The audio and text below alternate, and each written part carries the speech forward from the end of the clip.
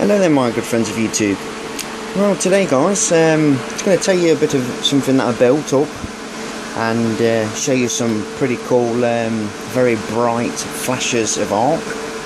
Uh, what I've done today guys, well what should I say, what I've done in the last in the last 24 hours, this is not a transformer, this is a capacitor. There is eight capacitors in there guys. Eight ones like that. Do you remember the? I had uh, four of them down here, and uh, no, six, four or six. I had six down here. Sorry, because I took two out of a machine, and I got two when I went up there. And uh, there's eight capacitors in there, all stacked up up to here. What I did, I uh, got, I lifted them upside down so the the plate is at the bottom of them and linked them all together there was some uh, quite thick, uh, probably 26 gauge wire. Uh, linked them all together and soldered it, and that was basically the uh, anode, uh, the cathode. And then I turned them over and joined them all up because there was a screw on each for each capacitor to uh, to attach a wire. And I linked them all up together with um, some 30 kV wire, and then put a shroud over it like this and then turn them turn them upside down. Or should I say lay them on the sides and then bring them all the way up to here just below the bottom of this. And connected anode and cathode. How amazing is that? And then of course filled it all the way up for oil. Left about half an inch at the top there a little bit of expansion because well there is an expansion diaphragm at the bottom of here. It's actually I'll show you where it is if you can. It's actually there. This is the diaphragm at the bottom of here. It's like a big rubber um, diaphragm in there. It looks like a speaker cone with some um, stainless very thin um, plating just to push it up and of course it's able to reflex like that just like a cone in a speaker. And that of course takes any um, expansion from the oil as it gets warm. But you see these capacitors when you've been using them they do get warm. And they're all 75 kV and of course they're all in parallel. So I get um, you know I get a good 8.00 microfarads at 75 kV. The good thing about this is that I don't have to keep messing about with capacitors. They're all in here, they're all steady, you know, this thing can, the way I've actually put these caps in there, there's enough room all the way around the, each cap and uh, you know, this, this, this packing as well to stop them from moving around. They're quite snug inside of there, the way that I've done it. And behind each one of these plates there's some quite thick insulation as well which covers each side which actually came with this transformer when it was here.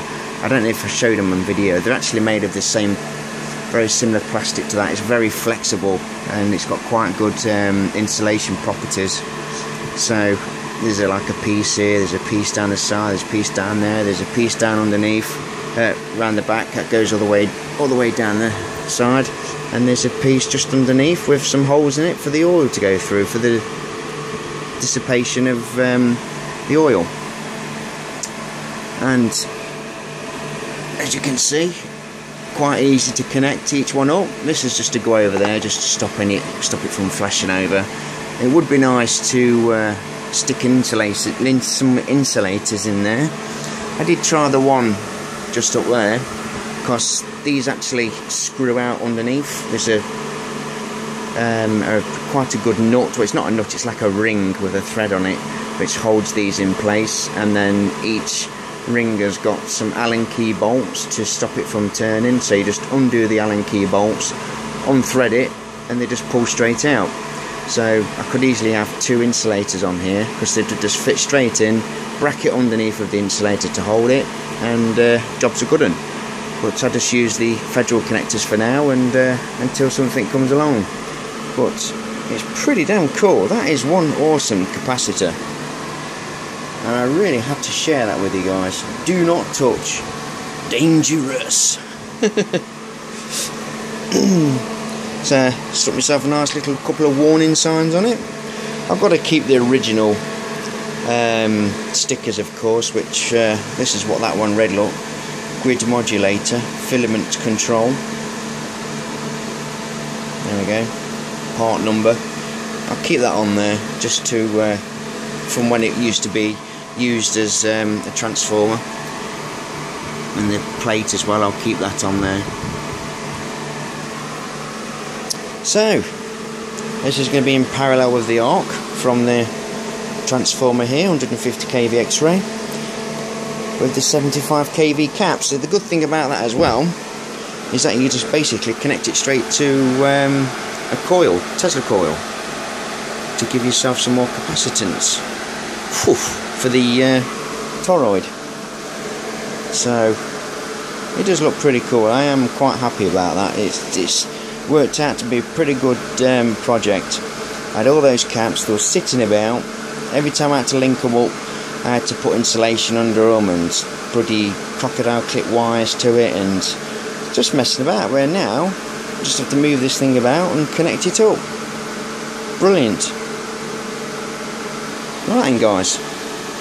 Now these arcs are very very very loud and very very bright. It's like um, it's like the flash of um, a camera. That's how bright these things are. There's, there's that much power behind these caps. That's all I'm going to say. So I'm going to turn the lights down.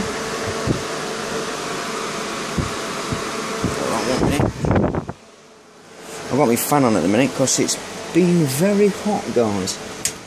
Very hot indeed. Turn this one off as well.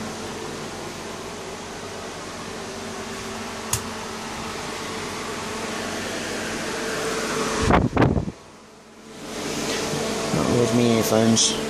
You have to wear earphones. It's just ridiculous. Hold on one minute, I need to put you down for a sec.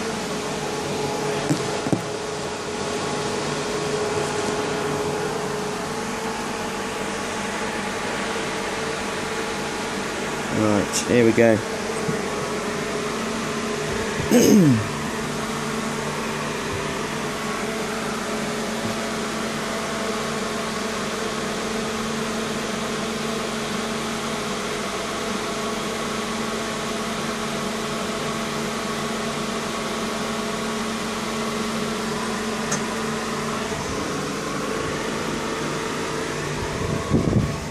Sorry guys, I was disconnected there.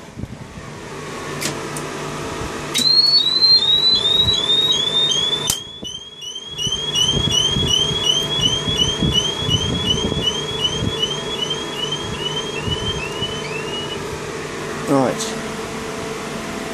Here we go. Sorry about that.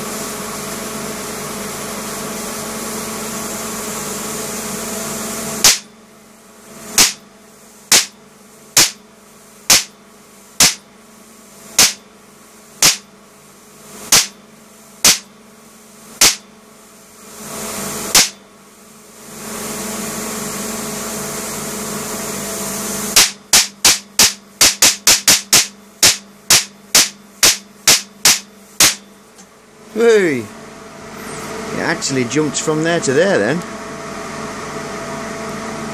You can smell the ozone. Damn, you can smell the ozone.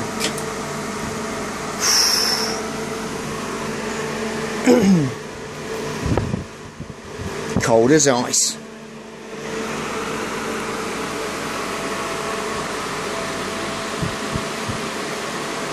So that's what I've been doing, guys.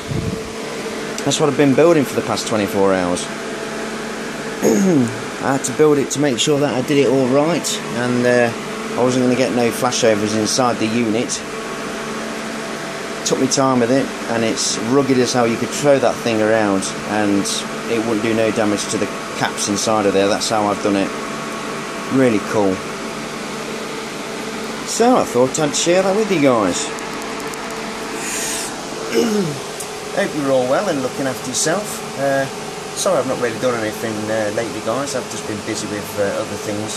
As you know my wife's pregnant and uh, having a baby in September and I'm